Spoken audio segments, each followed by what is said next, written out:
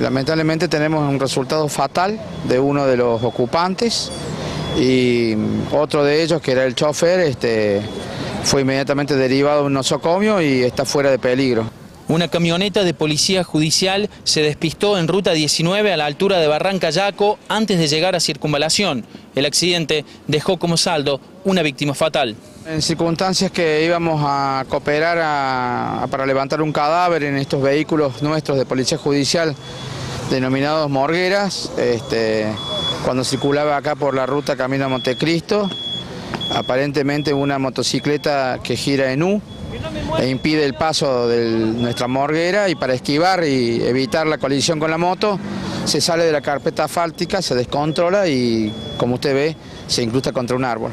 ¿El fallecido sería un médico de policía judicial? El fallecido es un médico de policía judicial, efectivamente.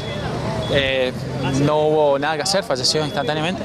Eh, quedó aprisionado eh, dentro del vehículo y no se pudo hacer nada y Usted ve todos los trabajos que se han hecho para poder retirar el cadáver.